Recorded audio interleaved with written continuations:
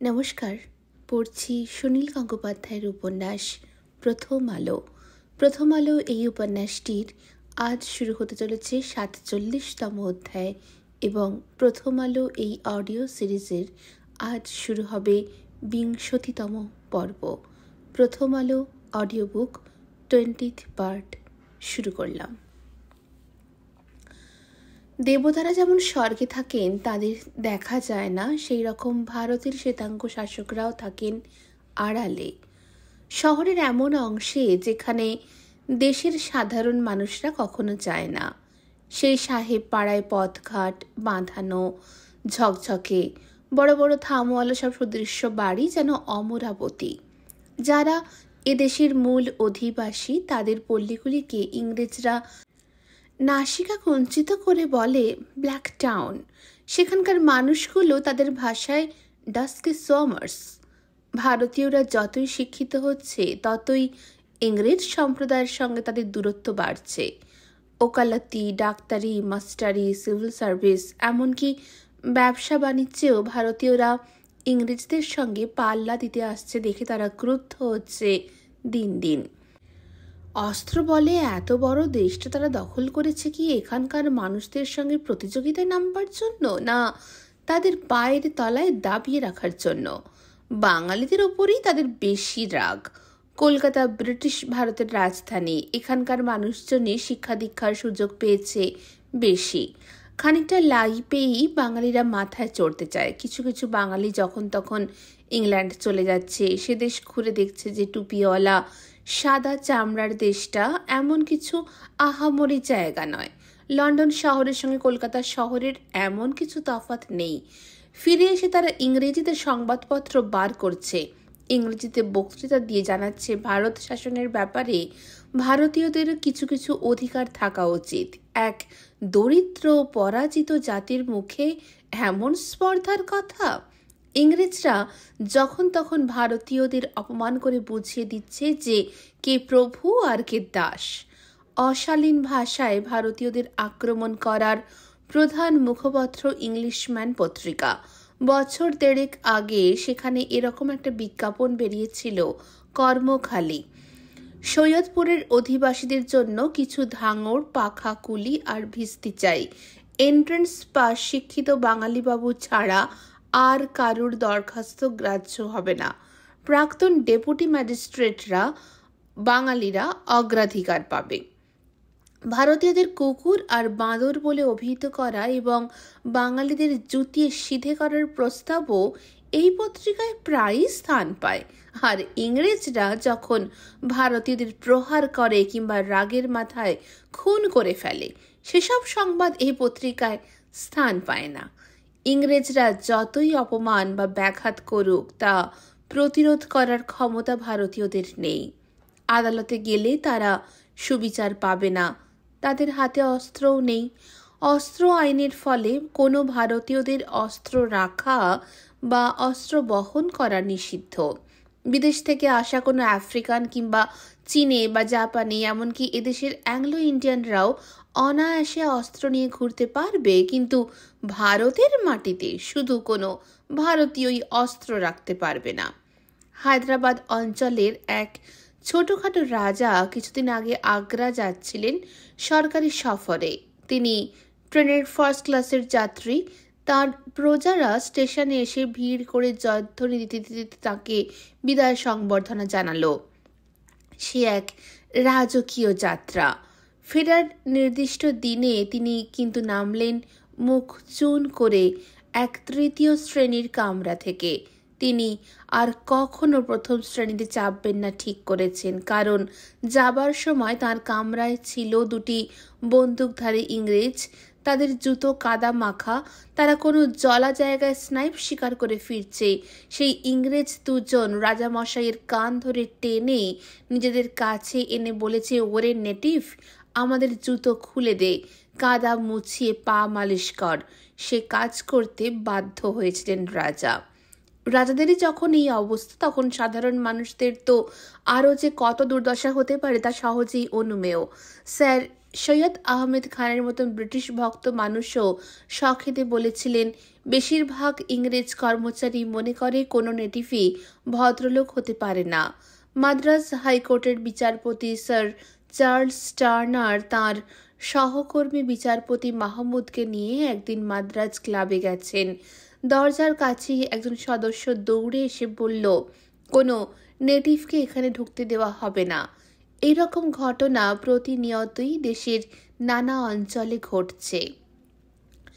দেবরাজ ইন্দ্রের মতন ভারত শাসক ইংরেজদের শিরোমণি অর্থাৎ ভাইসরয় এখন লর্ড রিপন। সাধারণ মানুষের চোখে তিনি অদৃশ্য। তিনি কখনো কলকাতায়, কখনো দিল্লিতে, কখনো সিমলায় থাকেন। সিপাহী বিদ্রোহের পর থেকেই ইংরেজ রাজপুরুষরা দেশীয় লোকেদের সঙ্গে দেখা সাক্ষাৎ প্রায় বন্ধ করে দিয়েছিল। আগের দশকেই ভাইসরয় লর্ড মেও আন্দামান সফরে গিয়ে এক ধর্মোন্মাদ পাঠানের হাতে খুন হয়েছেন। রিপনের ঠিক আগের ভাইসরয় লর্ড লর্ড লিটন ভারতীয় প্রজাদের যতটা ক্ষতি করে গেছেন, তেমনটি আর কেউ করেনি। প্রখ্যাত এক লেখকের সন্তান এই লর্ড লিটন এক ক্রূর রাজনীতিবিদ এবং রক্তচক্ষু শাসক। ভারতে যখন সাম্রাজ্য বিস্তার করতে আসা হয়েছে, তখন দয়াময়ের কোনো প্রশ্নই ওঠে না। এই লিটনি জারি করে গেছেন অস্ত্র আইন। সমস্ত ভারতীয় ভাষায় পত্রপত্রিকার ওপর চাপিয়ে গেছেন সেন্সারশিপ ল্যাঙ্কশায়ারের কাপড়ের কলের মালিকদের স্বার্থে এদেশের তাঁতিদের সর্বনাশ করে গেছেন। সাংঘাতিক দুর্ভিক্ষে ভারতের পঞ্চাশ লক্ষ লোক মারা গেল আর ভারতের প্রভু তখন দিল্লিতে এক দারুণ আড়ম্বরপূর্ণ ও ব্যয়বহুল দরবার বসালেন। বহুকাল ধরে দিল্লিতে ছিল মুঘল সম্রাটের রাজধানী। সেই দিল্লিতেই ঘোষণা করা হলো যে মহারানী ভিক্টোরিয়া এখন ভারতের সম্রাজ্ঞী। আফগানিস্তানে যুদ্ধ বাঁধিয়ে লিটন আর এক মারাত্মক ভুল করে গেছেন। সমগ্র ভারত জয় করেও ইংরেজরা আফগানিস্তানকে সাম্রাজ্যভুক্ত করতে পারেনি। কয়েকবার চেষ্টা করে বোঝা গেছে যে দুঃসাহসী আফগানরা কিছুতেই পরাধীনতা মেনে নেবে না। গায়ের জোরে দখল করা যেতে পারে, কিন্তু অশান্তি চলতেই থাকবে। আফগানদের হাত থেকে অস্ত্র ছাড়ানো যাবে না, তাদের ওপর শাসন পদ্ধতিও চাপানো যাবে না। তাই আফগানিস্তানকে অনেকদিন ঘাঁটানো হয়নি, কিন্তু মাঝে মাঝেই রুশ জুজুর গুজব ছড়ায়। ইংরেজদের ধারণা, রাশিয়ার সম্রাটের ফৌজ হঠাৎ কোনোদিন ভারত আক্রমণ করে বসবে। ভারতের মতন এমন একটা সোনার হাঁসের সব ডিম শুধু ইংরেজরা ভোগ করবে, এটা অন্য ইউরোপীয়দের সহ্য হবে কেন? ওলন্দাজ, ফরাসি, পর্তুগিজরা এখানে পাল্লা দিয়ে হেরে গেছে। রাশিয়ার শক্তির সঙ্গে এখনও ইংরেজদের মোকাবিলা বাকি আছে। রাশিয়ানরা যদি আসে, তাহলে আসতে হবে আফগানিস্তানের ওপর দিয়ে। তাই আফগানিস্তানকে কবজায় রাখতে ইংরেজদের প্রায় হাত নিষ্পেষ করে। আফগানিস্তান যেন একটি নধর ভেড়া, যার ঘাড়ের ওপর লাফিয়ে পড়ার জন্য একটি সিংহ এবং একটি বিশাল ভাল্লুক সবসময় উদ্যত।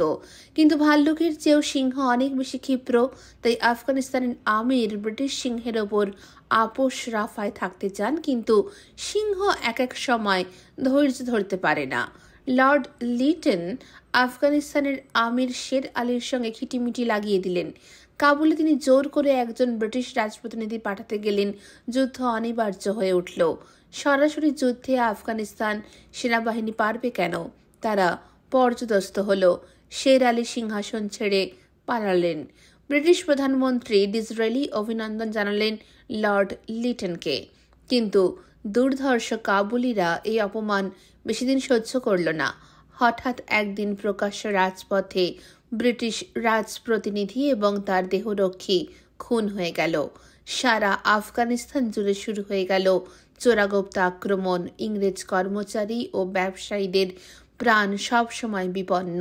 তারা পালাতে পারলে বাঁচে। শের আলীর বদলে তার ভাইপো আব্দুর রহমানকে সিংহাসনে বসিয়ে ব্রিটিশ সিংহ আবার লেজ কুটিয়ে আফগানিস্তান ছেড়ে চলে এলো। প্রমাণিত হল যে আফগানিস্তান নিছক একটি নধর ভেড়া নয়, বরং বলা যায় সর্বাঙ্গে কাঁটা ভর্তি সজারু।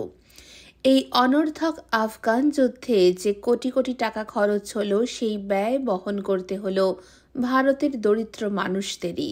এই তো ভারত সরকারেরই যুদ্ধ, অথচ ভারতীয়দের মতামতের কোনো দাম নেই।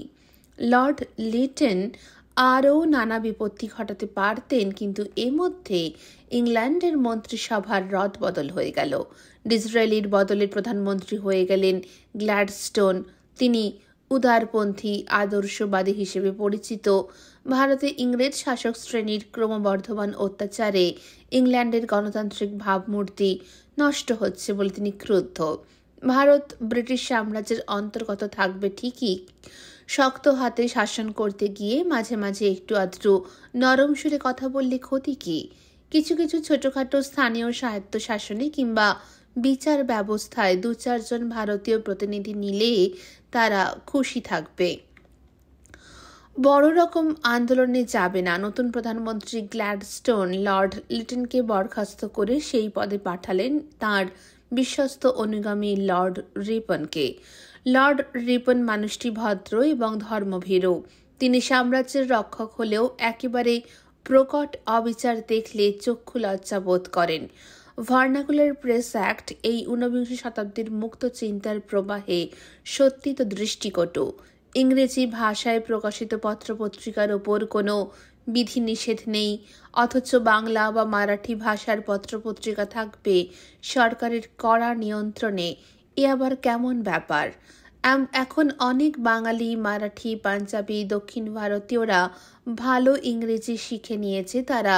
ইংরেজি ভাষায় পত্রিকা প্রকাশ করে। সেগুলো তো ছোঁয়া যাবে না। লর্ড রিপন কুখ্যাত ভার্নাকুলার প্রেস অ্যাক্ট তুলে দিলেন। কিন্তু অস্ত্র আইন সংশোধন করতে গিয়ে তিনি প্রবল বাধার সম্মুখীন হলেন।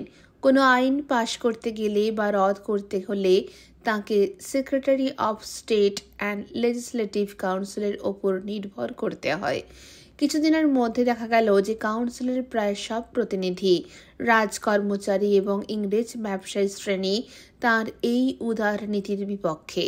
স্থানীয় স্বায়ত্তশাসন সংস্থাগুলিতে ভারতীয় প্রতিনিধি নিতে চাইলেন তিনি। তা নিয়ে ইংলিশ ম্যানের মতন পত্রপত্রিকায় গালাগালি শুরু হয়ে গেল। হতাশ হয়ে রিপন একদিন বলে উঠলেন, আমরা যদি বাঙালি বাবুদের নিজেদের স্কুল আর নর্দমা নিয়ে আলোচনা করার সুযোগ দিই, তাতে ব্রিটিশ সাম্রাজ্যের ভিত নষ্ট হয় না। বরং তাতে সুফল হবে এই যে বাঙালি বাবুরা এই সব নিরীহ বিষয় নিয়েই মাথা ঘামাবে, অন্যদিকে মন দেবে না। নানান রকম বাধা সত্ত্বেও লর্ড রিপন কিছু কিছু শাসন সংস্কার চালিয়ে যেতে লাগলেন। তিনি লক্ষ্য করেছিলেন যে, ভারতে এখন নিত্য নতুন কলকারখানা স্থাপিত হচ্ছে, অধিকাংশই ইংরেজ মালিকানায়। সেখানে নিয়ম শৃঙ্খলার কোনো ব্যাপারই নেই। ভারতীয় কুলিদের পশুর মতন খাটানো হয়, শ্রম ঘন্টারও কোনো হিসেব থাকে না। ছুটি ছাটার বালাই নেই, দুগ্ধ পোষ্য শিশুদেরও কাজে লাগানো হয়। ইংল্যান্ডে এরকম অবস্থা অকল্পনীয়। শিল্প বিপ্লবের পর সেখানকার শ্রমিক শ্রেণি দিন দিন সংঘবদ্ধ হচ্ছে। কৃষি নির্ভর ভারতেও কলকারখানা বাড়বেই ক্রমশ। এবং শ্রমিকদের অসন্তোষ পুঞ্জীভূত হতে বাধ্য। রিপন এদেশে আসার কিছুদিন পরেই জারি করলেন ফ্যাক্টরি আইন। তাতে বলা হলো যে অন্তত একশো জন শ্রমিক সেখানে কাজ করে এবং যেখানে যন্ত্রের সাহায্য নিয়ে উৎপাদন হয়, এই সব ফ্যাক্টরি এই আইনে আওতায় আসবে। সাত বছরের কম কোনো বাচ্চাকে এখানে কাজে দেওয়া যাবে না। বারো বছরের কম বাচ্চাদের দিয়ে দিনে ন ঘণ্টার বেশি কাজ করানো যাবে না। প্রতিদিন কাজের মধ্যে এক ঘণ্টা বিশ্রামের জন্য দিতে হবে আর মাসে চার দিন ছুটি। রিপন বুঝেছিলেন যে ব্যবসায়ী শ্রেণীকে চটিয়ে দেশ চালানো যাবে না, তাই তিনি অতি প্রাথমিক কিছু নিয়ম বেঁধে দিলেন মাত্র, আর বেশি দূর এগোলেন না। তাতেও প্রতিবাদের ঝড় উঠল। পূর্ববর্তী বড়লাট লর্ড লিটন ভারতের নবজাগ্রত শিক্ষিত সমাজকে ঘোর অপছন্দ করতেন। ইংরেজ কর্মচারীরাও চাকরি বাকরির ক্ষেত্রে ভারতীয়দের সঙ্গে জায়গা ভাগাভাগি পছন্দ করে না। এদিকে হাজার হাজার ছেলে বিএ এম এ পাশ করে চাকরির ক্ষেত্রে যোগ্যতার দাবি করছে। বিলেত থেকে আইসিএস হয়ে এসে সরাসরি উঁচু পদে বসছে। তাই ইংরেজ পক্ষ থেকে দাবি তোলা হচ্ছে যে ভারতীয়দের আইসিএস পরীক্ষা দেওয়া বন্ধ করে দেওয়া হোক। এখানকার কলেজগুলিতে সরকারের সাহায্য বন্ধ করে দিয়ে উচ্চ শিক্ষার বাধা সৃষ্টি করা হোক। সামান্য কিছু ইংরেজি শিখিয়ে কেরানি তৈরি করাই তো ছিল স্কুল টুল স্থাপনের উদ্দেশ্য। এখন যে এরা অফিসার হতে চায়। সাধারণ মানুষ সবসময় সরকারের সংস্থার ব্যবস্থাগুলির মর্ম বোঝে না। এদেশের ইংরেজরা যখন চটে গিয়ে হাঙ্গামা শুরু করে, তখন অনেকে মজা পায়। তাহলে সব শ্বেতাঙ্গরাও এক কাটটা নয়? মহারানী তার প্রজাদের ভালোই চান। এদেশে তাঁর চেলাচামুন্ডারা ধারালো দাঁত আর নখ উঁচিয়ে থাকে। দুরকম ইংরেজের একটা অস্পষ্ট ধারণা অনেকে মনে, অনেকের মনে দানা বাঁধে। ডেভিড হেয়ার, বেথুন, পাদ্রি লংয়ের স্মৃতি এখনও মিলিয়ে যায়নি। এখনও তো রয়েছে ফাদার লাফো কর্নেল আলকটের মতন বেশ কিছু সাহেব যারা ভারতীয়দের ঘৃণা করে না, সরকারের সব সংস্কার নীতি ভারতীয়রাও মেনে নিতে পারে না। একটা ছোট্ট ব্যাপার নিয়ে শহরে হুলুস্থুলু পড়ে গিয়েছে। হিঁদুর মোড়ে জনাব পনেরো লোকের একটা জটলার মধ্যে দাঁড়িয়ে মহা উত্তেজিতভাবে হাত পা নেড়ে চেঁচামেচি করছে বাণী বিনোদ। শ্রোতারা সকৌতুকে তাকিয়ে আছে, তার কথা ঠিক বিশ্বাস করতে পারছে না। বাণী বিনোদ একজনের দিকে কটমট করে তাকিয়ে বলল, আমি মিছে কথা বলছি?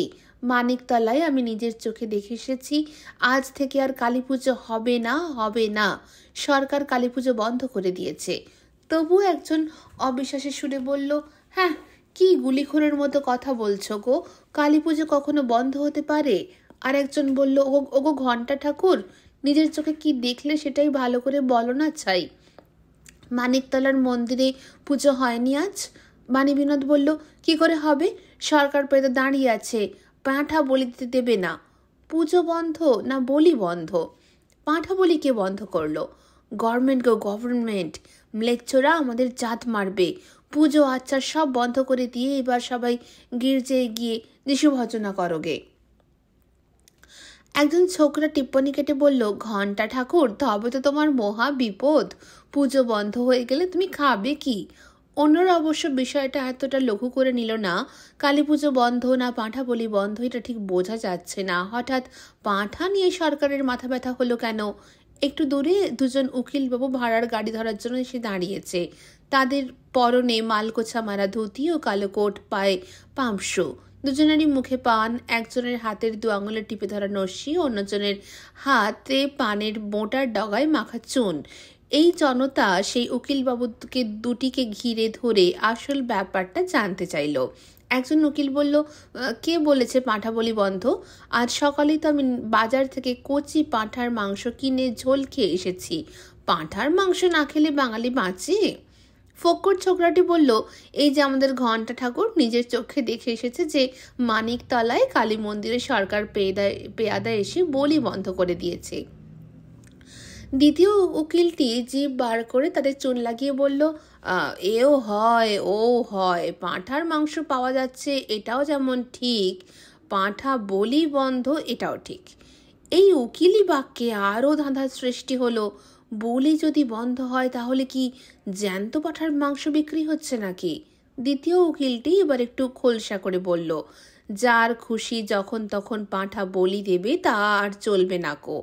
চড়ুই ভাতি করতে গেলে আর একটা ছাগল নিয়ে গিয়ে কেটে কুটে রান্না করলে তাহলে জেল হবে। তাহলে বাজারে মাংস বিক্রি হবে কি করে? কসাইখানা থেকে আসবে। কর্পোরেশন নিয়ম জারি করেছে পাঁঠা কাটতে গেলে লাইসেন্স নিতে হবে। মাংসের দোকানদাররা স্লটার হাউস থেকে পাঁঠা কাটিয়ে আনবে। সে কোন জাতের না কোন জাতের লোক কাটবে তার ঠিক কি? তাদের ছোঁয়া খেতে হবে? কসাইরা কোন জাতের হয়? এতকাল তাদের ছোঁয়া মাংস খাওনি? বাণী বিনোদ প্রবলভাবে ঘাড় নেড়ে বলল, আমি কখনো খাই না। ঠাকুরের সামনে যে পাঁঠা বলি হয়, সেই মাংস ছাড়া আমি অন্য কোনো মাংস খাই না। ছোকরাটি বলল, অর্থাৎ কিনা যা বিনা পয়সায় পাওয়া যায়? অন্য একটি লোক বলল, লোকে যে কালী ঠাকুরের কাছে মানত করে, এখন আর সেই মানতের বলি হবে না? একখানা ভাড়ার গাড়ি এসে গেছে। উকিল বাবুরা সেদিকে ছুটে যেতে যেতে একজন মন্তব্য ছুঁড়ে গেল, মা কালীকেও লাইসেন্স নিতে হবে। কর্পোরেশনের আইনে প্রথম দিকে বিভ্রান্তির সৃষ্টি হলো অনেক। আইনটির উদ্দেশ্যটি ছিল সৎ। লোকে পাঁঠা, পাঁঠি, রুগ্ন ছাগল যা খুশি বলি দিয়ে বাজারে মাংস বিক্রি করে। বড় বড় কালী মন্দিরগুলি ছাড়াও পাড়ায় পাড়ায় নিত্য নতুন কালী মন্দির গজিয়ে উঠছে। সেসব মন্দিরের সামনে সকাল থেকে হাঁড়ি কাঠে পাঁঠা বলি চলতে থাকে, রাস্তা রক্তে ঠিক ঠিক করে।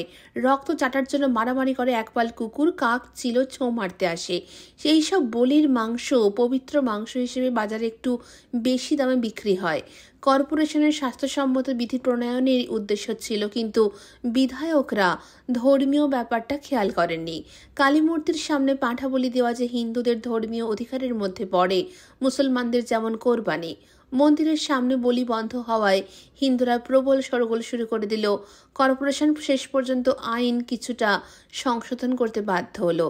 কালীঘাটের মন্দির, ফিরিঙ্গি কালী ঠনঠনের মতন কতগুলি বিখ্যাত, সুপ্রতিষ্ঠিত মন্দিরের সামনে পাঠা বলি আগেকার মতোই অব্যাহত রইল, কিন্তু যে কোনো ছোটখাটো মন্দিরে বলি দেওয়া নিষিদ্ধ হয়ে রইল। অনেক মন্দির রাতারাতি উঠেও গেল এই জন্য। যে কোনো আইনই পুরোপুরি প্রয়োগ করা সহজ নয়। লুকিয়ে চুরিয়ে গলি ঘুঁচিতে পাঁঠার মাংস বিক্রি, এরপরেও চলতে লাগল কিছু কিছু। কত জায়গায় আর পেয়াদারা কি বাধা দেবে? পেয়াদাদাদেরও তো ধর্ম ভয় আছে। তাছাড়া হাতে একটা টাকা গুঁজে দিলে তাদের কর্তব্য জ্ঞান উপে যায়। তবে অনেক মানুষ এখন সতর্ক হয়ে গেল। যে কোনো মাংস খাওয়া যে স্বাস্থ্যসম্মত নয়, এই জ্ঞানটুকু অন্তত হলো। লাইসেন্সের দোকানের পাঁঠা কিংবা বড় মন্দিরের বলির পাঁঠার মাংস ছাড়া অন্য মাংস তারা কিনতে চায় না। বেআইনি মাংস কেনা অপরাধ। রামকৃষ্ণ ঠাকুর অসুস্থ। গলায় ব্যথা, কাশি হচ্ছে খুব। শরীর বেশ দুর্বল।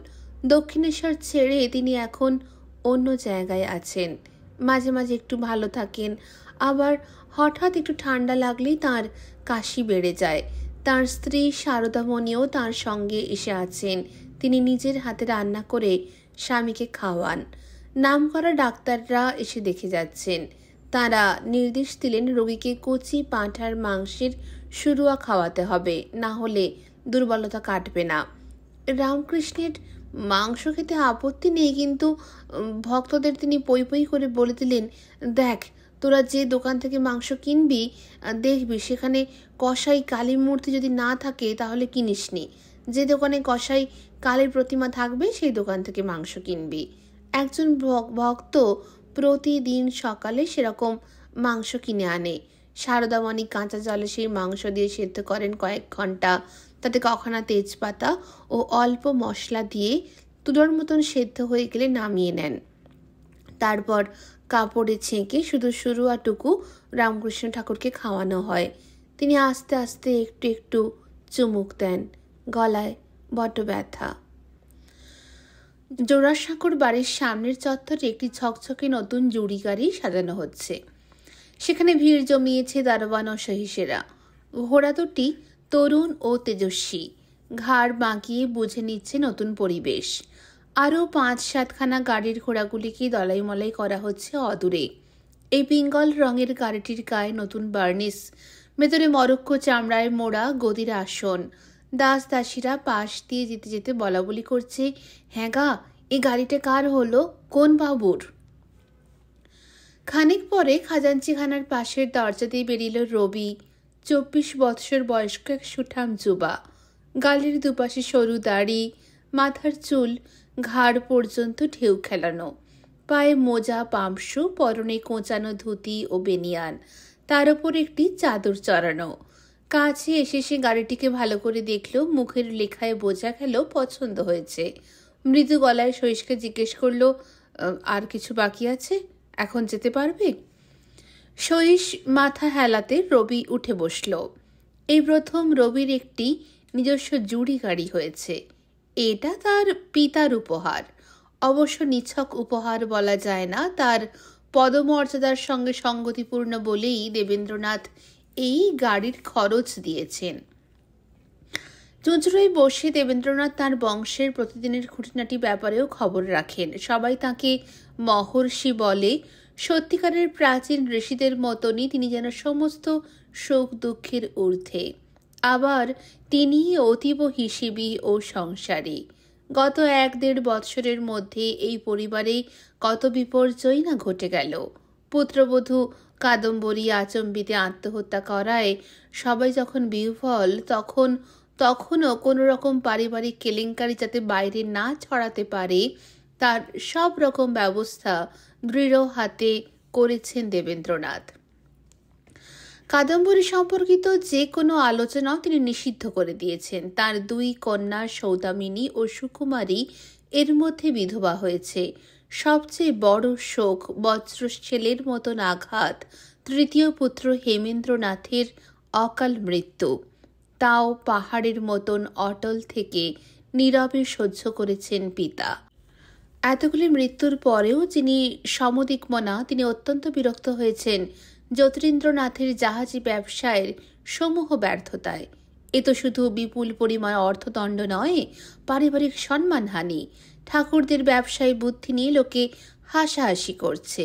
জ্যোতির ওপরই দেবেন্দ্রনাথ সবচেয়ে বেশি ভরসা করতেন।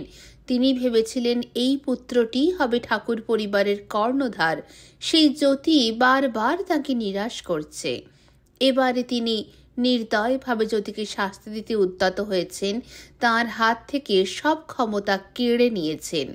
জমিদারি আয় ব্যয়ের হিসেব রক্ষার দায়িত্ব ছিল যতীন্দ্রনাথের তাকে সরিয়ে সে দায়িত্ব আবার দেওয়া হয়েছে দ্বিজেন্দ্রনাথের ওপরে। আদি ব্রাহ্ম সমাজের সম্পাদক পদ থেকেও তিনি চ্যুত। দু একজন পার্শ্বদ অবশ্য দেবেন্দ্রনাথকে বোঝাবার চেষ্টা করেছিলেন যে স্ত্রী বিয়োগ ও ব্যবসায় সর্বশান্ত হওয়ার মতন দুটি এত বড় আঘাতেই ভেঙে পড়েছেন জ্যোতিরিন্দ্রনাথ এখন তাকে ব্রাহ্ম সমাজের কাজ ও অন্যান্য দায়িত্বের মধ্যে রাখলে তিনি আবার ধীরে ধীরে স্বাভাবিক হয়ে উঠতে পারেন। কিন্তু দেবেন্দ্রনাথ এবারে ক্ষমাহীন। আদি ব্রাহ্ম সমাজের সম্পাদক পদে নিযুক্ত হয়েছে রবি। সম্পাদকই দলের প্রধান মুখপাত্র। সম্পাদককে অনেক রকম সামাজিকতা রক্ষা করতে হয়। সুতরাং তার নিজস্ব জুড়িঘাড়ি না থাকলে মানায় না। দেবেন্দ্রনাথ রবির মাসোহারা টাকা বাড়িয়ে দিয়েছেন, তার পত্নীকেও আলাদা হাত খরচ দেওয়া হয়। ওদের জন্য আলাদা মহলটি অকৃপণভাবে সাজিয়ে দেবার জন্য খাজাঞ্চি খানায় নির্দেশ দেওয়া আছে। রবি প্রতি মাসে চুজরোয় এসে সমস্ত কাজকর্মের রিপোর্ট দেয়। দেবেন্দ্রনাথ তার দায়িত্বজ্ঞানে সন্তুষ্ট। তবু তিনি রবিকে আরও চাপের ওপর রাখতে চান, আরও ব্যস্ত রাখতে চান, যাতে সে ফাঁকা সময় না পায়। দু একটা প্রশংসা বাক্যের সঙ্গে সঙ্গে তিনি ঈষৎ ভর্সনাও করেন মাঝে মাঝে। সমাজের প্রার্থনা সভার জন্য রবি একটি নতুন হারমোনিয়াম কিনতে চায়। দেবেন্দ্রনাথ সঙ্গে সঙ্গে রাজি হয়ে বললেন, নতুন যন্ত্রের অবশ্যই প্রয়োজন। লও পাঁচশো টাকা, কিন্তু পুরনোটাকে মেরামতের জন্য পাঠালে কেন? ওটা দিয়ে আর কি হবে? এটা অপব্যয়। এদিকে খেয়াল রাখবে। জুড়িগাড়ি ডিজিতপুর ধরে চলল সার্কুলার রোডের দিকে তিনটি ব্রাহ্ম সমাজকে এক করে মেলাবার জন্য সম্প্রতি একটা উদ্যোগ নেওয়া হয়েছে। সূত্রধার হয়েছেন নববিধানের ভাই প্রতাপচন্দ্র মজুমদার। ব্রাহ্মরা এখন সঙ্গবদ্ধ না হলে হিন্দু পুনর্জাগরণের বন্যায় যে ভেসে যাবে তা সবাই অনুভব করলেও মিলন অত সহজ নয়। সবাই মিলন চায়, কিন্তু নিজস্ব শর্তে কেউ ছাড়তে পারে না আত্মভরিতা। রবি, তবু সেই আলোচনা চালাতেই চলেছে। আদি ব্রাহ্ম সমাজের সম্পাদকের পদ পেয়ে রবি প্রথম দিকে দারুণ অস্বস্তিতে পড়েছিল। এ কাজ তার পছন্দ, কিন্তু জ্যোতিদাদা এখন কলকাতায় রয়েছেন। আপাতত আর বাইরে কোথাও যাবেন না, তা সত্ত্বেও তাঁকেই সরিয়ে দিয়ে রবিকে এই সম্মানের আসন দেওয়া হলো। রবি কি করে এটা স্বাভাবিকভাবে গ্রহণ করবে? অথচ পিতার আদেশ অমান্য করারও প্রশ্ন ওঠে না। রবি এখন পারতপক্ষে যদি তার সামনে যায় না, এড়িয়ে এড়িয়ে চলে। খোলা গাড়িতে চলেছে রবি, কিন্তু পথের দুপাশে তার মন নেই। গত সপ্তাহে সে চুচুড়ে গিয়েছিল। তখন দেবেন্দ্রনাথ নানান বিষয়ের মধ্যে হঠাৎ এমন একটা উক্তি করেছিলেন যার মর্ম সে বুঝতে পারেনি। মনের মধ্যে একটা খটকা রয়ে গেছে। দেবেন্দ্রনাথের হাতে ছিল রবির একটি কবিতার বই, শৈশব সংগীত, উৎসর্গের পৃষ্ঠাটি খোলা। বইয়ের দিকে চোখ রেখে দেবেন্দ্রনাথ বলেছিলেন তুমি ব্রাহ্মযন্ত্রে বৎসরে তোমার কখানি বই চাপাবে, ঠিক করেছ? তারপর উত্তরের অপেক্ষা না করে দেবেন্দ্রনাথ চলে গিয়েছিলেন অন্য প্রসঙ্গে। পিতা বরাবরই এই কনিষ্ঠ পুত্রটির কবিত্ব শক্তির অনুরাগী। সমাজের প্রার্থনা সভার জন্য, বিভিন্ন উৎসবের জন্য রবি গান রচনা করেছে সেগুলি শুনে দেবেন্দ্রনাথ বিশেষ সন্তোষ প্রকাশ করেছেন। রবিকে তিনি পুরস্কার দিয়েছেন, তাকে উৎসাহিত করেছেন আরও নতুন গান রচনা করার জন্য। তবু দেবেন্দ্রনাথ ওই কথা বললেন কেন?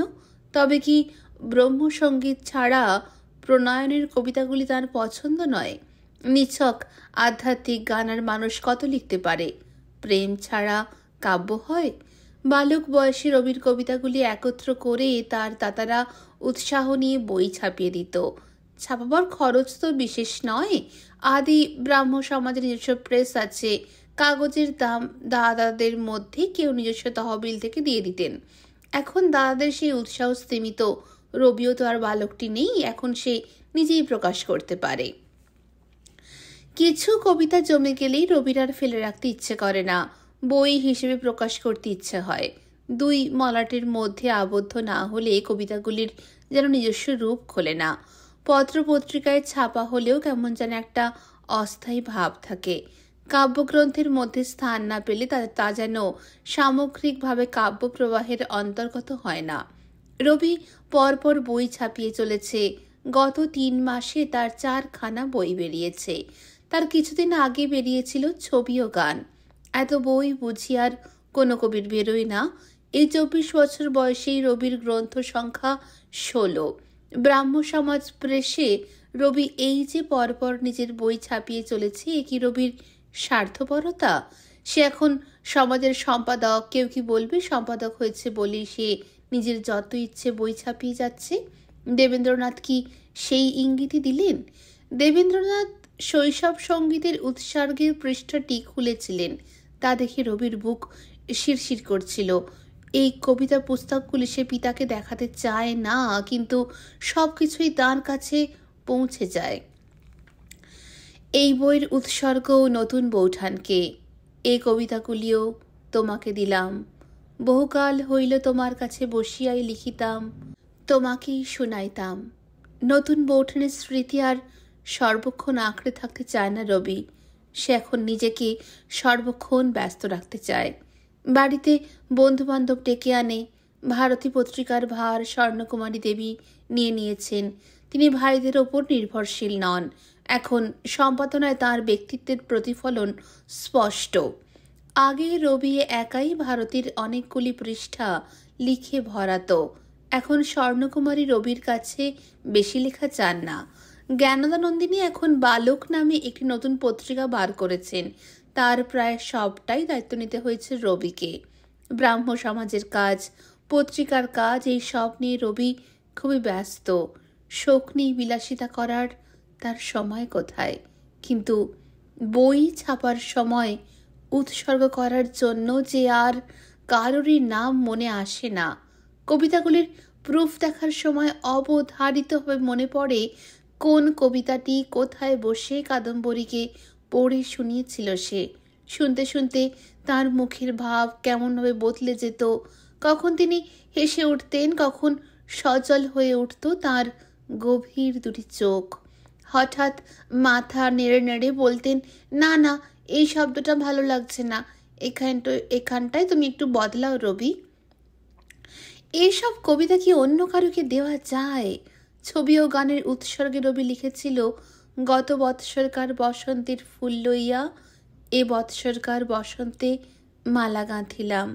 যাহার নয়ন কিরণে প্রতিদিন প্রভাতে এই ফুলগুলি একটি একটি করিয়া ফুটিয়া উঠিত, তাহারই চরণে ইহাদিগকে উৎসর্গ করিলাম। এরপর প্রকৃতির প্রতিশোধের উৎসর্গে আর এত কথা নয়, শুধু তোমাকে দিলাম। কিছু কিছু লোকের এমনই অসুস্থ কৌতূহল থাকে যে তারা বারবার জিজ্ঞেস করে, তোমাকে মানে কে? কেউ কেউ কিছু জিজ্ঞেস করে না, ঠোঁট টিপে হাসে। এর পরের বই নলিনীর উৎসর্গ পৃষ্ঠায় কিছু লিখতে গিয়ে রবি সাবধান হয়ে গেল। একবার ভেবেছিল অন্য কারোর নাম দেবে, কিন্তু কার নাম? ওই সাদা পৃষ্ঠা জুড়ে রয়েছে যে নতুন বৌঠানের মুখ। সে বইয়ের উৎসর্গ পৃষ্ঠায় কিছু লেখাই হলো না শেষ পর্যন্ত। শৈশব সংগীত প্রকাশের সময় সে আবার ভাবল, ভাবের ঘরে চুরি করবে কেন?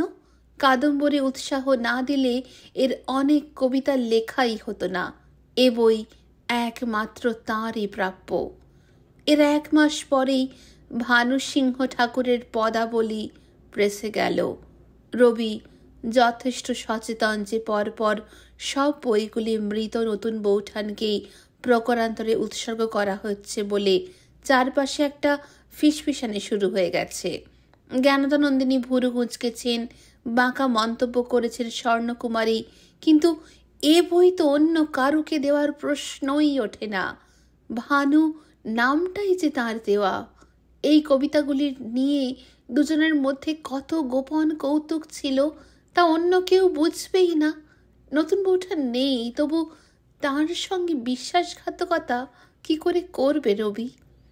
এই বইয়ের উৎসর্গ পৃষ্ঠাতেও রবি কোনো নাম লিখল না, শুধু লিখল, ভানু সিংহের কবিতাগুলি ছাপাইতে তুমি আমাকে অনেকবার অনুরোধ করিয়াছিলে। তখন সে অনুরোধ পালন করি নাই, আজ ছাপাইয়াছি, আজ তুমি আর দেখিতে পাইলে না। রাস্তার খন্দে চাকা পড়ে যাওয়ায় রবির যেন ঘোর ভাঙল। তার দু চোখ দিয়ে অশ্রুর ধারা গড়াচ্ছে। ইস, দিনের বেলা পথের মানুষ দেখতে পেয়ে গেল নাকি? তাড়াতাড়ি সে মুখ মুছল। আজকাল এই হয়েছে। যখন তখন তার চোখ দিয়ে জলের রেখা নেমে আসে। বাড়িতে পরিচিত লোকজনদের সামনে সে সচেতন থাকে, কিন্তু পথে কিছুক্ষণের একাকিত্বে তার কোনো সংযম থাকে না। বাবা মশাই, ওই কথাটা বললেন কেন? ব্রাহ্ম সমাজ প্রেসে তার আর বই ছাপানো উচিত নয়। অন্য প্রকাশক তার বই চায় না। নিজে যে বইগুলি ছাপিয়েছে, তার আশীকৃতভাবে জমে আছে। বিক্রি হয় অতি সামান্য। বঙ্কিমবাবুর বইগুলির দারুণ কাটতি এমনকি জাল সংস্করণ পর্যন্ত বেরোয়। আর রবির লেখা পছন্দ করে না পাঠকেরা। বিক্রি যদি না হয়, তাহলে একটার পর একটা বই ছাপিয়েই বা লাভ কি? People's library Sanskrit press depository Canning library এই সব দোকানে অনেক বই জমা দেওয়া আছে। তারা একটা পয়সাও দেবার নাম করে না। হঠাৎ রবির মনে পড়ল, গুরুদাস চট্টোপাধ্যায় নামে এক ভদ্রলোক বেঙ্গল মেডিকেল লাইব্রেরি নামে একটা দোকান খুলেছেন। গল্প ও কবিতার বইও সেখান থেকে বিক্রি করার কথা বলছিলেন একদিন। তবে খুচরো বিক্রেতা নন, তিনি হোলসেলার হতে চান। তার সঙ্গে কথা বলা দরকার। প্রতাপ মজুমদারের কাছে পরে গেলেও চলবে। রবি কচুয়ানকে নির্দেশ দিল কলেজ স্ট্রিট যেতে। সে রাস্তার সাতানব্বই নম্বর বাড়িতে বেঙ্গল মেডিকেল লাইব্রেরির বেশ প্রশস্ত দোকান। কাজের শোকেসে নতুন নতুন বই শোভা পাচ্ছে। বঙ্কিমবাবুর বই জুড়ে আছে অনেকখানি স্থান। মাইকেল মধুসূদনের দু তিনখানি হেমবারঞ্জের বৃত্র সংহার দুখণ্ড, হুতম প্যাঁচার নকশা তারক গাঙ্গুলির স্বর্ণলতা, এমনকি নবীন সেনের পলাশির যুদ্ধ। রবি বাইরে দাঁড়িয়ে কাঁচের জানলায় সাজানো বইগুলি দেখল। তার একটি বইও নেই। পলাশির যুদ্ধের পাঠক আছে। তার প্রভাত সঙ্গীতের সমাদর করার মতন কেউ নেই। লোকে কি এখনও কাহিনীমূলক কাব্যেই চায়? লিরিকের মর্ম বোঝে না। কেউ কেউ রবিকে উপদেশ দেয়, তুমি মহাকাব্যের স্টাইলে একটা কিছু লেখো না কেন? গুরুদাসবাবু খাতির করে রবিকে নিয়ে ভেতরের একটি ছোট ঘরে বসালেন। হুঁকো কোলকে আনা হলো তার জন্য। আর একটা পিরিচে কয়েক খিলি পান। লেখক হিসেবে তেমন কিছু দরের না হলেও দেবেন ঠাকুরের ছেলে তো বটে তাছাড়া গায়ক হিসেবে রবির বেশ নাম হয়েছে। নানা কথার পর গুরুদাসবাবু এক অভিনব প্রস্তাব দিলেন। রবির বই তেমন বিক্রি হয় না। তিনি নিজস্ব উপায়ে নিজের সুবিধে মতন দামে বিক্রির ব্যবস্থা করবেন। তবে কমিশনের ভিত্তিতে নয়, তিনি একসঙ্গে রবির সব কটি বইয়ের সমস্ত অবিকৃত কপি কিনে নেবেন কিছু থোক টাকা দিয়ে। রবির ষোলোটি বইয়ের মধ্যে কয়েকটি নেহাতি পুস্তিকা, বারোটি বেছে নেওয়া হলো। ব্রাহ্ম সমাজ প্রেসের গুদামে ও জোড়াসাঁকোর বাড়িতে কত বই জমে আছে তার একটা মোটামুটি হিসেব কষা হলো, প্রায় আট হাজার বই। তার জন্য গুরুদাসবাবু দিতে চাইলেন দু হাজার তিনশো ন টাকা। দরাদরি কোনো প্রশ্নই ওঠে না। লাভ, লোকসানের হিসেব কষায়ও কোনো প্রয়োজন নেই, কারণ আর কিছুদিনের মধ্যেই তো এইসব ছাপানো পৃষ্ঠা উইপোকার খাদ্য হতো। তৎক্ষণাৎ চুক্তিপত্র স্বাক্ষরিত হলো, রবির হাতে অগ্রিম হিসেবে দেওয়া হলো নগদ এগারোশো টাকা। রবির প্রায় বিহ্বল অবস্থা, এতগুলো টাকা, তার বই বিক্রির টাকা এ পর্যন্ত লিখে সে কোনো জায়গা থেকে একটা পয়সাও পায়নি। রবি যেন কল্পনায় দেখতে পেল, এবার তার বইগুলি পৌঁছে যাচ্ছে পাঠকদের ঘরে ঘরে। দূর দূরান্তের মানুষ তার লেখা পড়ছে, নিজেদের মধ্যে আলোচনা করছে। এই খবর সর্বপ্রথম যাকে দেওয়া যেত, যিনি সবচেয়ে খুশি হতেন, তিনি আজ কোথায়? অসীমে শুনিলে শূন্যে বিশ্ব কোথা ভেসে গেছে? তার যেন দেখা নাহি যায়। নিষিধের মাঝে শুধু মহান একাকী আমি, অতলেতে ডুবিরে কোথায়? এ টাকার সৎ ব্যবহার করতে হবে। বন্ধু বান্ধবদের ডেকে রবি একটা ভোজ লাগিয়ে দিল। প্রিয়নাথ সেন শ্রীষ মজুমদার অক্ষয় চৌধুরী এলেন। নগেন গুপ্তকে পাওয়া গেল না। তিনি করাচিতে একটি পত্রিকার সম্পাদনার চাকরি নিয়ে চলে গেছেন। রবির বালিকা বধূটি এর মধ্যেই রান্নার ব্যাপারে বেশ দক্ষতা দেখিয়েছে। জ্ঞানদা নন্দিনীর কাছে সে আর ফিরে যায়নি। জোড়াশঙ্কর বাড়ি থেকেই সে রোজ ফ্রক পরে স্কুলে যায়। আবার বাড়িতে যখন সে শাড়ি পরে ঘুরে বেড়ায়, তখন আর তাকে তেমন ছোটটি মনে হয় না। রান্নাঘরে ঠাকুরদের সে পাকা গিন্নির মতন নির্দেশ দেয়। আহারাদের আগে আড্ডা বেশ জমল সেদিন। কথায় কথায় বঙ্কিমচন্দ্রের প্রসঙ্গ এসে গেল। বঙ্গদর্শন বন্ধ হয়ে গেছে। বঙ্কিমবাবুর এক জামাই প্রচার নামে একটি পত্রিকা শুরু করেছেন শ্বশুরের পৃষ্ঠপোষকতায়। অক্ষয় সরকার বার করেছেন নবজীবন। এই দুই পত্রিকায় প্রাবন্ধিক হিসেবে এক নতুন ভূমিকায় আবির্ভূত হয়েছেন বঙ্কিম। তিনি এখন ধর্মধ্বজ। ঠিক নতুন ভূমিকাও নয়, সদ্য প্রকাশিত হয়েছে দেবী চৌধুরানী উপন্যাস তার আগে আনন্দ মঠেও তিনি প্রচারকের ভূমিকা নিয়েছেন। আজ বঙ্কিমকে সমালোচনা করার ব্যাপারে রবির কোনো আড়ষ্টতা নেই। তারও বই বিক্রি হয়েছে। ব্রাহ্ম সমাজের সম্পাদক হিসেবে সে হিন্দুত্বের প্রবক্তা বঙ্কিমের বিরুদ্ধে কলম শানাচ্ছে দ্ব্যর্থহীন ভাষায় সে বলতে লাগল, আনন্দ মঠকে মোটেই উৎকৃষ্ট উপন্যাস বলা চলে না। চরিত্রগুলি একঘেয়ে। সব আনন্দগুলি যেন একরকম। রক্ত মাংসের মানুষ নয়, সংখ্যা। আর শান্তিকে নিয়ে যে কি অতি নাটকীয় বাড়াবাড়ি করা হয়েছে, তার ঠিক নেই। শ্রীশচন্দ্র আবার বঙ্কিমের প্রবল ভক্ত। তিনি শুরু করে দিলেন তর্কযুদ্ধ। খাওয়া দাওয়া শেষ করতে করতে অনেক রাত হয়ে গেল। অতিথিদের রাস্তা পর্যন্ত এগিয়ে দিয়ে এলো রবি।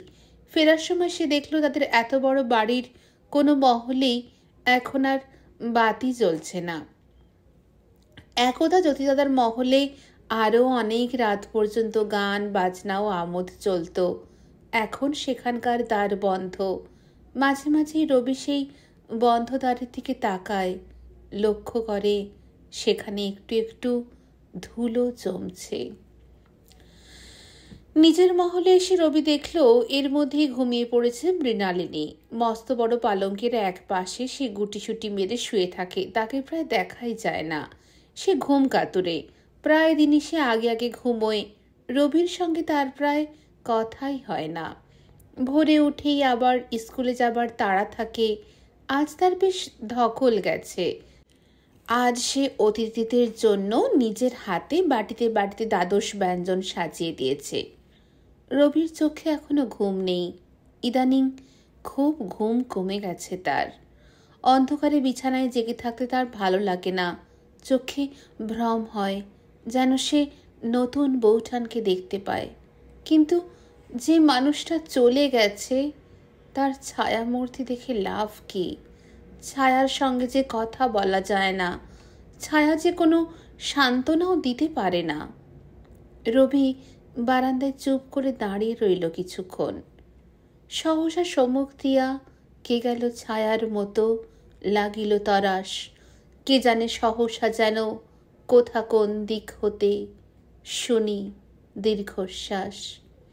কে বসে রয়েছে পাশে, সে ছুঁইল মোর দেহ। হিম হস্তে তার, ও কিও, এ কিরে শুনি, কোথা হতে উঠিল রে ঘোর হাহাকার। সত্যিই যেন পেছনে সে কার দীর্ঘশ্বাস শুনতে পায়। কে যেন চট করে সরে গেল এক পাশে গা ছমছম করে, নিজের ওপরেই সে বিরক্ত হয়।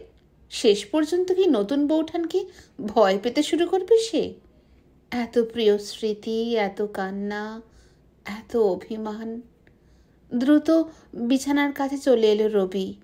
এ ঘরে একটা মৃদু গ্যাসের বাতি সারা রাত চলে স্বচ্ছ মশারি দিয়ে দেখা যায় ছোট্ট একটি পাশ বালিশ জড়িয়ে এক পাশ ফিরে ঘুমিয়ে আছে মৃণালিনী।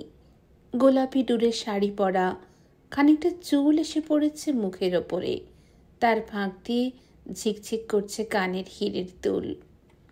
মশারি তোরে ভেতরে ঢুকল রবি। অন্যদিন যাতে মৃণালিনীর ঘুম না ভাঙে, তাই সে সন্তর্পণে অনেকটা দূরত্ব রেখে শোয়। আজ সে পাশে আঙুল দিয়ে সরিয়ে দিল ওর মুখের চুল। সেই সামান্য স্পর্শে চোখ মেলে তাকালো মৃণালিনী। চমকে উঠল না, উৎসুক হয়ে তাকিয়ে রইল। রবি তার ঠোঁটে আঙুল বুলিয়ে দিল। তারপর তার নাক ও চোখের পাশে পাশে আঙুল দিয়ে যেন আঁকতে লাগল ছবি। মৃণালিনী তার আঙুলটা একসময় চেপে ধরতেই রবি তাকে বুকে টেনে নিয়ে আদর করতে লাগল। ছায়ার থেকে শরীর অনেক বেশি আপন হতে পারে। শরীর অনেক কিছু ভুলিয়ে দেয়, এমনকি শোকও ভুলিয়ে দেয়। বাংলার ছোটলাট স্যার রিভার্স টমসনের সঙ্গে সৌজন্যমূলক সাক্ষাৎ করতে গিয়েছিলেন মহারাজ বীরচন্দ্র। ফেরার পথে তিনি উৎকট গম্ভীর মুখ করে বসে রইলেন গাড়িতে। তার জিভে একটা তিক্ত স্বাদ।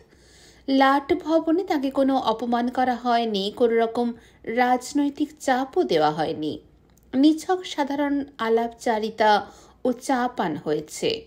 মোট পঁচিশ মিনিট তবু বীরচন্দ্রের মর্যাদা আহত হয়েছে। তার চোখ ফেটে জল আসছে এখন। মহারাজ বীরচন্দ্র ইংরেজিতে কথাবার্তা চালাতে পারেন, তবু তিনি শশীভূষণকে সঙ্গে নিয়েছিলেন। একই গাড়িতে বসে আছেন শশীভূষণ। কয়েকবার মহারাজের সঙ্গে কথা বলার চেষ্টা করেও সক্ষম হলেন না। মহারাজ মুখ ফিরিয়ে রয়েছেন পথের দিকে। এমনিতে মহারাজ কৌতুক প্রবণ ত্রিপুরায় কখনো কোনো সাহেব শুভ দেখা করতে এলে তারা চলে যাবার পর তিনি নানান রকম মস্করা করেন তাদের চালচলন নিয়ে। যখন তিনি গম্ভীর থাকেন, তখন তিনি দুর্বোধ্য হয়ে যান। লাট ভবনে মহারাজের সঙ্গে মহারানীরও আমন্ত্রণ ছিল, কিন্তু চন্দ্রবংশের কোনো রানী কখনো পরপুরুষের সামনে মুখ দেখায় না। মনোমোহিনী অবশ্য নেচে উঠেছিল, সে গড়ের মাঠ ও লাট প্রাসাদ দেখতে চেয়েছিল, তাকে কিছুটা কঠোরভাবেই নিবারণ করতে হয়েছে। ছোটলাট ঠিক জিজ্ঞেস করেছিল, আপনার পত্নী আসেননি? মহারাজের বদলে শশীভূষণ উত্তর দিয়েছিলেন, তিনি ইনডিসপোজড ছোটলাটটি বেশ লম্বা, রিজু শরীর। মহারাজের সামনে দাঁড়ালে তাকে প্রায় আধ হাত উঁচু মনে হচ্ছিল। মহারাজ বীরচন্দ্র কখনো খুব লম্বা লোকের কাছাকাছি দাঁড়ানো পছন্দ করেন না। তাকে মুখ তুলে কথা বলতে হয় রিভার্স টমসন মাঝে মাঝে তাকাচ্ছিল মহারাজের ভুঁড়ির দিকে। ঠোঁটে লেগেছিল সামান্য হাসি। না কোন রকম বিদ্রুপাত্মক মন্তব্য করেননি ভুঁড়ি সম্পর্কে। হাসিটাও প্রায় অদৃশ্যই ছিল। তবু বোঝা যায় ওর নিজের চেহারা নিয়ে বেশ গর্ব আছে। ও নাকি একসময় ভালো ক্রিকেট খেলোয়াড় ছিল। নিজেই বলল সে কথা। একটুক্ষণ থাকার পরে বীরচন্দ্রের মনে হয়েছিল, কেন এলাম? লাট সাহেব ডাকলেই আসতে হবে। যতই ছোট হোক, তিনি একটি স্বাধীন রাজ্যের সিংহাসনের অধিকারী। আর এই টমসন সাহেবটি তো রানী ভিক্টোরিয়ার একজন কর্মচারী মাত্র। তার নিবাসে কেন আসতে বাধ্য হবেন তিনি? ইংরেজ রাজপুরুষদের আমন্ত্রণ মানেই আদেশের সমতুল্য। এরা অস্ত্র বলে বলিয়ান, তাই এরা আদেশ করতে পারে। তুচ্ছ ছুত করে ইংরেজ সরকার ত্রিপুরায় একজন পলিটিক্যাল এজেন্ট চাপিয়ে দেওয়ার চেষ্টা করছে। রিভার্স টমসনের বিচ্ছিরি ঝোলা গোঁফ বীরচন্দ্রের মতন বীরত্ব ব্যঞ্জন মোচ নয়। বীরচন্দ্রকে দেখিয়ে দেখিয়ে মোচের ডগা পাকালেন কয়েকবার, কিন্তু ইংরেজটি তা গ্রাহ্যই করল না। অভিযোগ জানাবার কিছু নেই, কাকেই বা জানানো যাবে? ইংরেজ শক্তি ইচ্ছে করলে যে কোনো দিন বীরচন্দ্রের মাথা থেকে রাজমুকুটটা ছিনিয়ে নিতে পারে। এখনও নিচ্ছে না, কিন্তু নিতে যে পারে তা মাঝে মাঝেই বুঝিয়ে দেয়। আজকের আমন্ত্রণের সূক্ষ্ম অবজ্ঞা প্রদর্শন, তারই নিদর্শন। আমোদে স্বভাবের রাজা বীরচন্দ্রের মেজাজ যখন খারাপ হয়, তখন দু তিন দিনেও মনের মেঘ কাটতে চায় না। সেদিন তিনি বাসস্থানে ফিরেও কথা বললেন না কারুর সঙ্গে। পরদিন কয়েকজন কবি ও গদ্যকারকে ডাকা হয়েছে সাহিত্যপ্রেমিক মহারাজ। নিজেই আগ্রহ প্রকাশ করেছিলেন। শিশির কুমার ঘোষ, হরপ্রসাদ শাস্ত্রী, অক্ষয়চন্দ্র সরকার, রবীন্দ্রনাথ ঠাকুর, দীনেশচন্দ্র সেন প্রমুখ বেশ কয়েকজন এসেছেন। দোতলার বৈঠকখানায় মহারাজ মধ্যমণি হয়ে বসলেন বটে, কিন্তু মুখমণ্ডল ম্লান। কণ্ঠস্বরে একবারও পুলকের উচ্ছ্বাস ফুটে উঠল না। তিনি শুষ্কভাবে সকলকে আপ্যায়ন করলেন, তারপর একসময় ভেতরে চলে গেলেন। পরদিন শশীভূষণকে ডেকে আনলেন কীর্তনিয়ার একটি দলকে। মহারাজ কীর্তন বিশেষ পছন্দ করেন। এই দলটি শোভাবাজার রাজবাড়িতে নিয়মিত আসর বসায়। মহারাজের মনের জড়তা কাটেনি, এমন চমৎকার গান তাও তার পছন্দ হলো না। গায়করা গিয়ে যাচ্ছে, মহারাজের কাছ থেকে কোনো বাহবা নেই। তারা রসের গান, প্রেমের গান, ভক্তির গান, কত রকম ঘুরিয়ে ঘুরিয়ে শোনালো। তারপর ধরলো ইদানিং জনপ্রিয় এক শ্যামা সংগীত। জানো না রে মন, পরম কারণ, কালী কেবল মেয়ে নয়, মেঘের বরণ করিয়ে ধারণ, কখনো কখনো পুরুষ হয়। হয়ে এলো কেশি করে লয়ে ওসি দনুজ তনয়ে করে। মহারাজ হাত তুলে সে গান থামিয়ে দিয়ে বললেন, হয়েছে হয়েছে, যথেষ্ট হয়েছে। এ আবার গান নাকি? কখনো কখনো পুরুষ হয়। কি কথার ছিরি?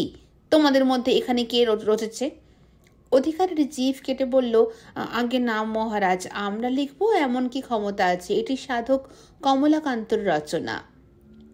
মহারাজ শশীভূষণকে বললেন এই এদের পাওনা গানটা মিটিয়ে দাও।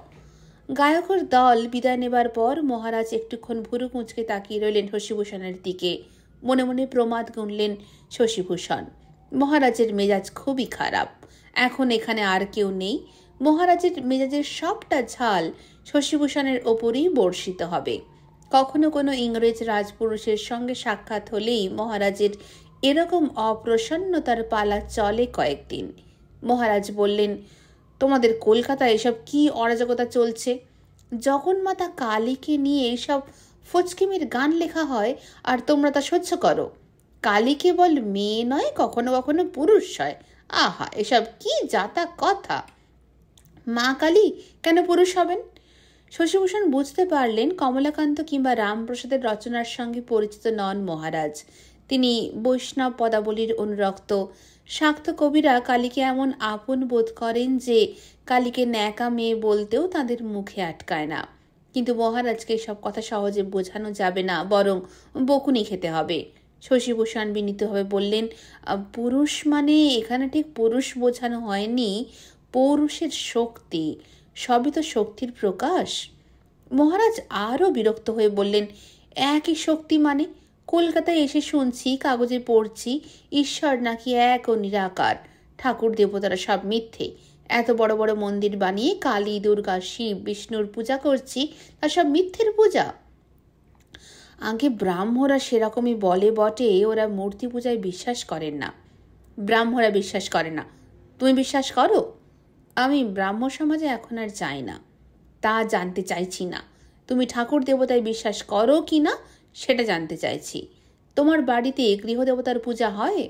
তুমি মন্দিরে গিয়ে গড় করো? মহারাজ, পারিবারিকভাবে আমরা বৈষ্ণব। সংস্কার বলে ঠাকুর দেবতার মূর্তির সামনে বহুবার গড় করেছি তো বটেই, তবে অপরাধ নেবেন না মহারাজ। আমার এখন মনে হয় মূর্তিগুলি সব প্রতীক। কালী, দুর্গা, লক্ষ্মী, সরস্বতী, এরা সব এক একটি শক্তির প্রতীক। প্রতীক? এসব নাস্তিকের কথা। প্রতীক না ছাই। উদয়পুরের ত্রিপুরা সুন্দরী জাগ্রত দেবী, কালীঘাটের মন্দিরে হাজার বছর ধরে মানুষে পুজো দিচ্ছে কি এমনি এমনি? আমি বৃন্দাবনে রাধাকৃষ্ণ মন্দিরে মূর্তির চোখে জল দেখেছি। আমাদের দেবতাদের যারা মিথ্যে বলে তারা কুলাঙ্গার। কলকাতার শহরে ম্লেচ্ছদের রাজত্ব, এখানে যে যা খুশি বলতে পারে। আমার ত্রিপুরায় এমন কথাকে উচ্চারণ করে না। তোমরা ইংরেজদের পা চাটবে, একদিন সবাই খ্রিস্টান হয়ে যাবে। একটুক্ষণ চুপ করে রইলেন মহারাজ। তার ঘন ঘন নিঃশ্বাস পড়ছে মুখখানি রক্তিম। আবার শশীভূষণদের দিকে তাকিয়ে তিনি ঈষৎ সংযত স্বরে বললেন আচ্ছা শশী মাস্টার, আমাকে একটা জিনিস বুঝিয়ে দাও তো। আমাদের হিন্দুদের ঈশ্বর যে নিরাকার, এটা বেরুলো কার উর্বর মস্তিষ্ক থেকে? আমাদের বাপ ঠাকুরদা, চোদ্দ পুরুষ, শিব, বিষ্ণু, কালী ঠাকুরের পুজো করে এলো, তার সব মূর্খ ছিল। শশীভূষণ খুব নিচু গলায় বললেন, মহারাজ, এ বিষয়টা তো আমি ভালো জানি না। তবে যতদূর যা পড়েছি আমাদের উপনিষদে তো ঈশ্বরের কোনো রূপের কথা নেই। ব্রহ্মা, বিষ্ণু, শিব এই তিন প্রধান দেবতাও কখনো কখনো ধ্যানে বসেন।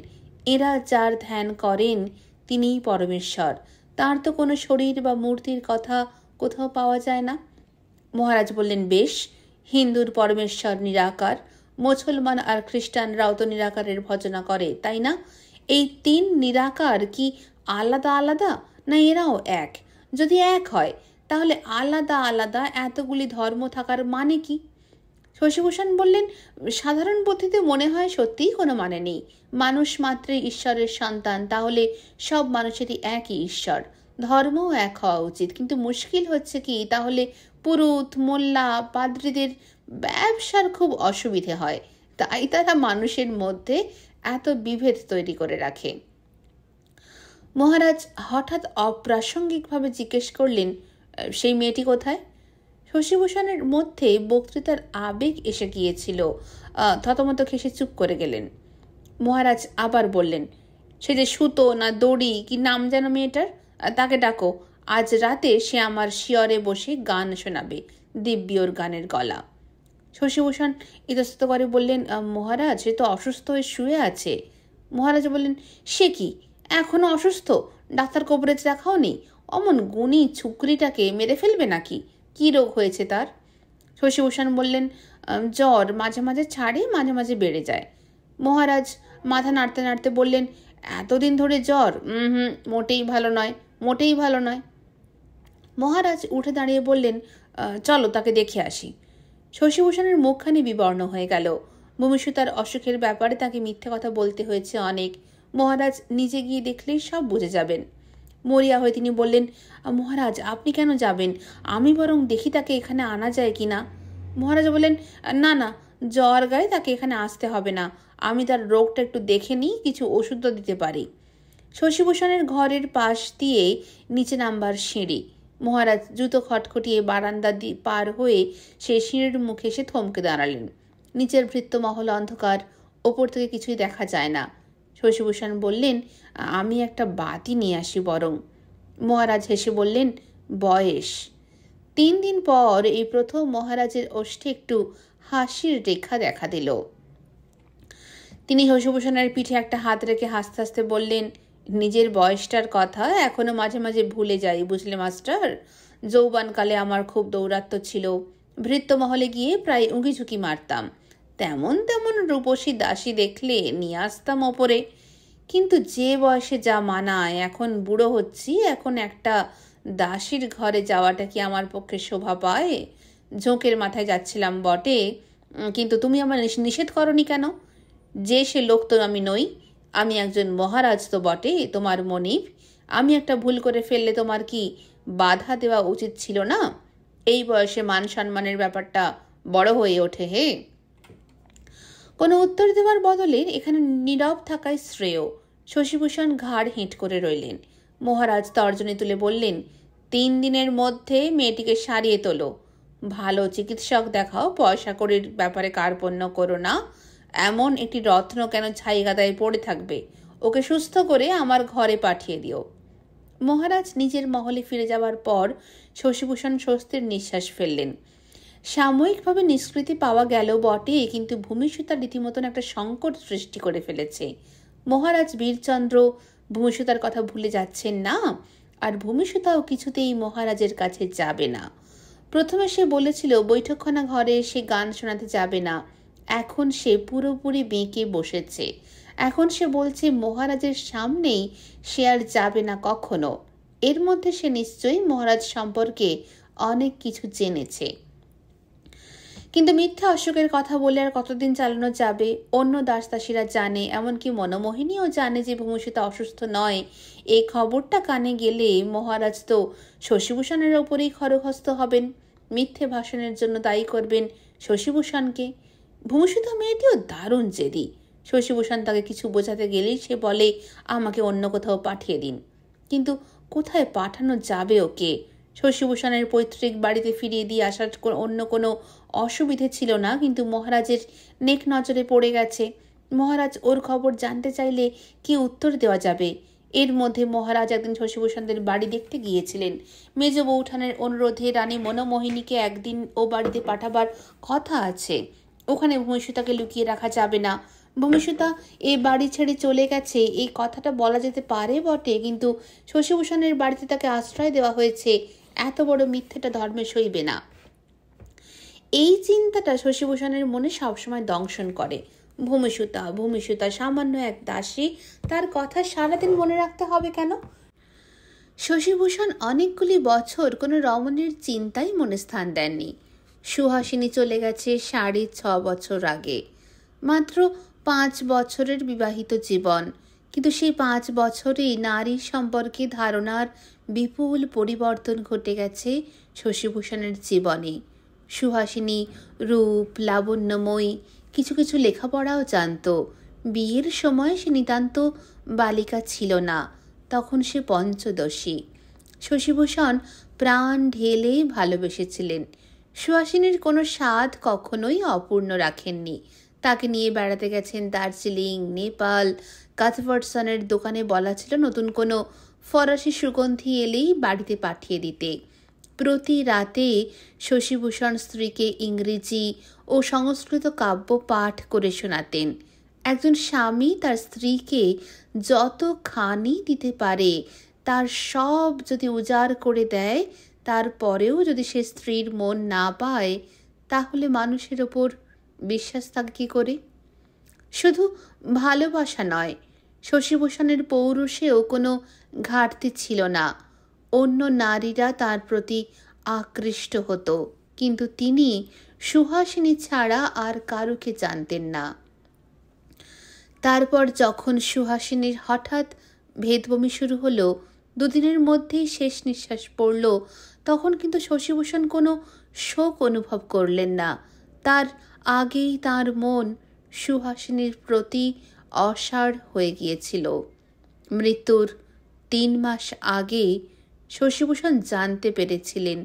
শুধু জানা নয় সচক্ষে দেখেছিলেন সুহাসিনী তার মামাতো ভাই অনঙ্গ মোহনের প্রতি গভীরভাবে আসক্ত।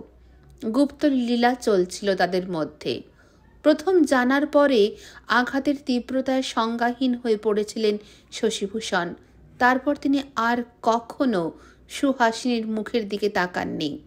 অনঙ্গমোহন তার তুলনায় অতি সাধারণ একজন মানুষ। তবু সেরকম একজনের কাছে হেরে যাবার গ্লানি শশীভূষণ কখনো কাটিয়ে উঠতে পারেননি। নারী জাতি সম্পর্কেই তার বিতৃষ্ণা এসে গিয়েছিল। সুহাসিনীর জামা, কাপড়, ব্যবহৃত জিনিসপত্র সব বিলিয়ে দিয়েছেন। গয়নাগাটি বিক্রি হয়ে গেছে, ওর কোনো চিহ্নই আর রাখতে চান না শশীভূষণ। সুহাসিনীর কোনো ছবিও নেই। শুধু শশীভূষণের বুকের মধ্যে রয়েছে একটা বিরাট ক্ষত। সে ক্ষতের কথা তিনি আর কারুকে জানতে দেননি, তাতে যে তাঁরই পরাজয়। সেই অনঙ্গমোহন কিন্তু এখনও দিব্যি হেসে খেলে বেড়ায়। সুহাসিনীর জন্য সে কতটা শোক করেছে, কে জানে? তবে কিছুকালের মধ্যেই সে যে সুহাসিনীর কনিষ্ঠা ভগ্নী তরঙ্গিনীর সঙ্গে একই রকম গোপন প্রণয় সম্পর্ক পাতিয়েছিল তা শশীভূষণ স্পষ্ট টের পেয়েছিলেন। ওই তরঙ্গিনীর সঙ্গে আবার শশীভূষণের বিবাহের প্রস্তাব উঠেছিল। কি ভয়ঙ্কর ব্যাপার। বিবাহের চিন্তা শশীভূষণ তার মন থেকে একেবারে মুছে ফেলেছেন। প্রথম দিকে ভূমিষ্যতাকে নিয়ে কোনো ঝঞ্ঝাট ছিল না। সে নিজে থেকে কোনো কথা বলে না, নিঃশব্দে ঘরের কাজ করে যায়। যথা সময় ঠিক ঠিক জিনিসটি গুছিয়ে রাখে শশীভূষণের জন্য। শশীভূষণ কোনোদিনই দাস দাসীদের সঙ্গে প্রয়োজনের অতিরিক্ত একটিও কথা বলেননি। ঘরের কাজ যে করে সে দাস না দাসী, তাতেও কিছু যায় আসে না তার। বছর কয়েক আগেকার সেই বড় অসুখটার পর শশীভূষণ বেশি ঝাল বা তেল মশলা দেওয়া খাবার খেতে পারেন না। তার বড় বৌঠান সেজন্যই ভূমিষ্য তাকে এখানে পাঠিয়ে দিয়েছিলেন। সে শশীভূষণের ঠিক উপযোগী খাদ্য রেঁধে দেয় কিন্তু যার কাজ রান্না করা, তার আবার গান জানানোর দরকার কি? মহারাজের মহলে গিয়ে গান শুনিয়েই তো মেয়েটি যত বিপত্তি বাঁধিয়েছে। রাঁধুনি বা দাসী থেকে মহারাজের রক্ষিতার পথ পেতে অনেকেই লালায়িত হয়, কিন্তু এ মেয়ের যে সেদিকেও ঝোঁক নেই। রাত্রিরে এক গেলাস গরম দুধ দিতে আসে ভূমিসুতা। যথারীতি অন্যদিনের মতন একটি টিপয়ের উপর গেলাসটি রেখে তার ওপর একটি রেকাবি ঢাকনা দিয়ে বেরিয়ে যাচ্ছে ভূমিসুতা। বিছানায় আধ শোয়া হয়ে শশীভূষণ বললেন, দাঁড়াও। ভূষা থেমে গেল। শশীভূষণা ঠিক মুখোমুখি দাঁড়াল না, এক পাশ ফিরে রইল। নীল রঙের শাড়ি পরা, পায়ে আলতা, একজন ফটোগ্রাফারের চোখ দিয়ে মেয়েটির মুখ ও দাঁড়াবার ভঙ্গি লক্ষ্য করল শশীভূষণ। ফুলের বাগানে দাঁড় করিয়ে একদিন ওর ছবি তিনি তুলেছিলেন। তার চেয়ে এখন যেন বেশ কিছুটা পরিবর্তন ঘটে গেছে ওর শরীরে। কুসুমকলিটি এখন প্রস্ফুটিত হয়েছে। শশীভূষণ বললেন, শোনো, মহারাজ আজও তোমার খোঁজ করছিলেন। আর কতদিন অসুখের ছুতো করে কাটাবে? মহারাজকে গান শোনাতে তোমার আপত্তি কি? ভূমিসুতা বলল, না, আমি পারব না। তার কণ্ঠস্বর মৃদু অথচ দৃঢ়, যেন এর আর অন্যথা হবার নয়। শশীভূষণ আবার বললেন, পারব না বললে কি চলে? মহারাজের যখন ঝোঁক চেপেছে, একদিন না একদিন তো যেতেই হবে। ভূমিসীতা বলল, আপনি আমাকে অন্য কোথাও পাঠিয়ে দিন। শশীভূষণ বললেন, কোথায় পাঠাবো? ভূমিসীতা চুপ করে গেল। পৃথিবীতে যার কেউ নেই, যে মেয়ে কোনো পথই চেনে না, সে কি করে জানবে অন্য কোথায় তার আশ্রয় জুটবে? শশীভূষণ বললেন মহারাজকে আমি কতদিন আটকে রাখতে পারব জানি না।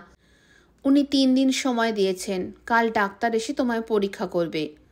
ভূমিষ্যতা এবার শশীভূষণের দিকে পুরোপুরি ঘুরে দাঁড়াল। দ্বিধাহীনভাবে তার চোখে চোখ রেখে বলল, আমি একটা ছুরি জোগাড় করে রেখেছি। কেউ যদি আমাকে গান গাইবার জন্য জোর করে, আমি আমার গলার নলিটা কেটে দেব। শশীভূষণ স্তম্ভিতভাবে তাকিয়ে রইলেন। ভূমিষ্যতা যে বাঙালি নয়, তা হঠাৎ হঠাৎ এক একটি ঝলকে প্রকাশ পায়। কোনো সাধারণ ঘরের বাঙালি মেয়ে কি এমনভাবে কথা কইতে পারে? পুরুষদের সামনে তো তাদের মুখই ফোটে না।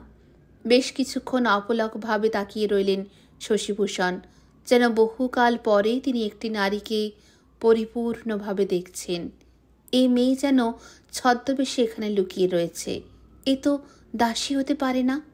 হাত বাড়িয়ে তিনি বললেন, কই, ছুরিটা কোথায় আমায় দাও? ভূমিষিতা বলল, সেটা লুকিয়ে রেখেছি। আবার একটুক্ষণ চুপ করিয়ে রইলেন শশীভূষণ। একবার ভাবলেন এক্ষুনি নিচে গিয়ে ওর ঘর থেকে ছুরিটা উদ্ধার করা উচিত। হুট করে যদি ঝোঁকের মাথায় কিছু করে বসে, কিন্তু বিছানা থেকে নামলেন না শশীভূষণ। দ্বিতীয় চিন্তায় মনে হলো, একটি ছুরির সঙ্গে থাকলেই যেন এই মেয়েটিকে মানায়। আপন মনে বললেন, আমি কখনো তোমার গান শুনিনি। কেমন গাও তুমি? কার কাছে শিখেছ? ভূমিসুতা বলল, আমার বাবার কাছে। এখন নিজে নিজে শিখি। শশীভূষণ বললেন, নিজে নিজে গান শেখা যায়? কেন শেখো? কার জন্য? ভূমিসুতা মুখ নিচু করে খানিকটা দ্বিধার সঙ্গে বলল, ভগবানের জন্য আর নিজের জন্য?